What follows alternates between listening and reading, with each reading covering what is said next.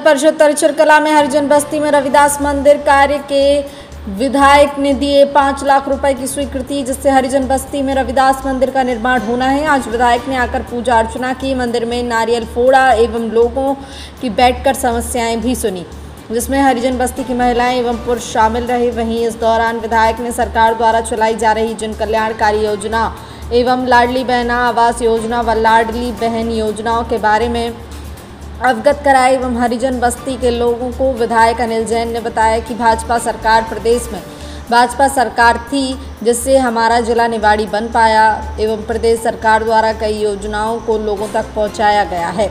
एवं कहा है कि सरकार के पास खजाने में कोई कमी नहीं है, लेकिन विकास कार्य रुकने नहीं चाहिए। अगर कोई भी कार्य हमारे सामने आता है तो हम उसे जल्द पूरा करने का कार्य करेंगे। लोगों से अपने लिए जन आशीर्वाद यात्रा के माध्यम से आशीर्वाद भी मांगा कि सरकार हमको विधायक बनाते हो तो आगे भी इसी तरह का विकास होता रहेगा, जिससे उपस्थित भाजपा कार्यकर्ता, नगर परिषद अध्यक्ष, रोहित सूत्रकार, उपाध्यक्ष प्रबल कुमार निरंजन, पार्षद बबलू पटेल, जितेंद्र अहिरवार सहित तमाम भाजपा कार्यकर्ता, नगर परिषद कामला मौजूद था। निवाड़ी से देवेश गुप्ता के साथ आशीष प्रजापति की रिपोर्ट।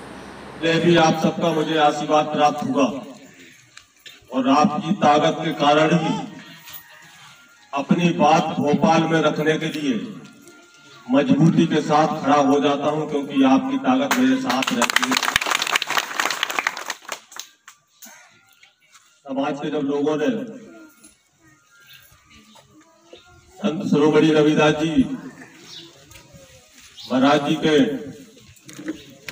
पास एक सामुदायिक भवन और एक तालाब निर्माण की बात जब मेरे सामने आई तो निश्चित रूप से मेरा जीवन ही उनके चरणों में समर्पित है। मैंने कोई राशि देने में कोई देने का। काम किया और अकेले तरीचर कला नहीं। कई ऐसे गाँव हैं, कई ऐसे नगर परिषद निवाड़ी हो या कई ऐसी जगह है, जब ऐसे काम करके उनके चरणों में प्रणाम करने का मुझे अवसर मिला। मैं निश्चित रूप से कहना चाहता हूँ आप सबसे मैं जब एक, बार एक कार्यक्रम के भूमि पूजन लोकार्पण के कार्यक्रम में आए थे तब लोगों ने कहा कि यहाँ जो बस्ती है यहाँ मूलभूत सुविधाओं से वंचित है। सीसीओ नाली की वर्षों से लोग कहते आ रहे थे लेकिन करने का काम कोई नहीं करता था। और लोगों ने कहा कि बाढ़ में चलो। तब हमने कहा था कि बाढ़ में तो मैं उस दिन जाऊँगा जब पक्की सड़क हो जाएगी तब बाढ़ में कदम रखने जाऊँगा। और आज मुझे खुशी है कि पक्की सड़क का रखने का मुझे अवसर मिला।